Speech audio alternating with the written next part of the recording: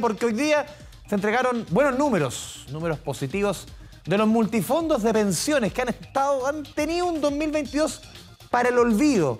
Pero el mes de noviembre, el undécimo mes del año, parece que los multifondos se acordaron de varios chinos. Después lo habíamos comentado muchas veces durante, durante los, últimos, eh, los últimos meses. Vamos a revisar los números de los bajísimos rendimientos, la contracción prácticamente que hayan tenido los multifondos de pensiones. A ver, en el mes eh, de noviembre el fondo A 1,65 por arriba, el fondo B 2,31, el fondo C 4,21. Vean lo que pasa con el fondo D, 6,27 y ni hablar el fondo E, 7,25% de alza solamente en un mes es el eh, rendimiento más alto en la historia en un mes del Fondo E. Un extraordinario mes de noviembre después de un año que habíamos tenido, que estamos teniendo para el olvido en los multifondos. Lo decimos mes a mes. No solamente aquí mencionamos cuando hay meses buenos, también todas las veces cuando hay meses malos. Ojo.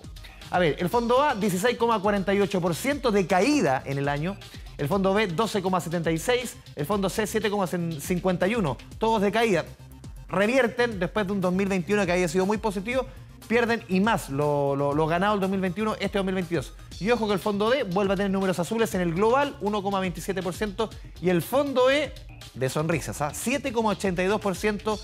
este mes de noviembre. Eso sí, el año pasado habían tenido el mismo fondo E un año para el olvido. Son los eh, en la incertidumbre económica que queda reflejada en los multifondos de pensiones. Le preguntamos a los expertos, a eh, CIEDES, quienes elaboran estos números, sobre lo que sucedió en el sorpresivo mes de noviembre.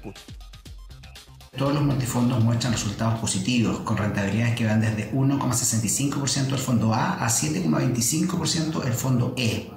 Con esto, el fondo E anota su mejor registro histórico en un mes alcanzando una rentabilidad acumulada en el año de un 7,82%, revirtiendo con ello más de la mitad de las pérdidas observadas durante el año anterior. Por el lado de los fondos más riesgosos se observan resultados positivos gracias a los buenos resultados de los mercados internacionales y también del IPSA a nivel local, si bien se ha visto afectado fuertemente por la volatilidad del dólar, que en este periodo anota una caída del 3,5%. Ojalá que estos números se mantengan, que la incertidumbre mundial baje un poquito para que los multifondos, un tema tan sensible, puedan seguir por lo menos los números del mes de, de noviembre después de un 2022 tan